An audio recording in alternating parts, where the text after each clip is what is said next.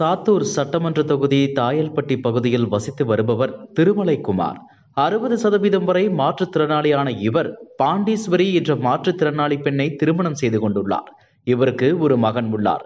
ஊறுகாய் வியாபாரம் செய்து வரும் இவர் அரசின் மாற்றுத்திறனாளிக்கான மூன்று சக்கர வாகனத்திற்காக பல முறை விண்ணப்பித்துள்ளார். இந்த நிலையில் திமுக கூட்டணியில் வெற்றி பெற்ற மதிமுக சாத்தூர் சட்டமன்ற உறுப்பினர் ரகுராமனிடம் மாற்றுத்திறனாளி தனக்கு மூன்று சக்கர வாகனம் வழங்க வேண்டும் என கூறி அவரிடம் மனு அளித்துள்ளார்.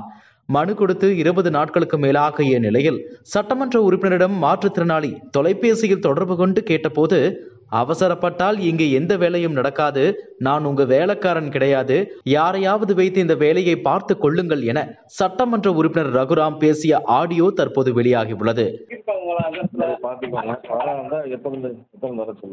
ஹலோ வணக்கண்ணே வணக்கம் சொல்லுங்க. அன்னைக்கு மாற்றுத்திறனாளி மனு கொடுத்தோம்ல வண்டிக்கு. சொல்லுங்க. அது இன்னும் பார்க்கக்கூடாது சார்.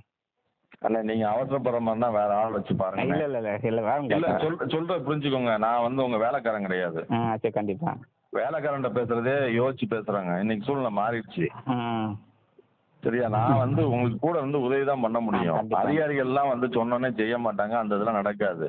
ம் சரியா? உடனே பாரு அந்த அப்பா பாரு இப்ப பாரு அந்த அளவுக்கு வேகப்படுத்தினா ஒன்றும் முடியாதுண்ணே நீங்க வேற ஆள் வச்சு பாருங்கண்ணே. இல்ல, அந்த ஃபைலை எடுத்து வெளியே வச்சிடுறேன். நீங்க வேற ஆள் வச்சு பாருங்க. நல்லது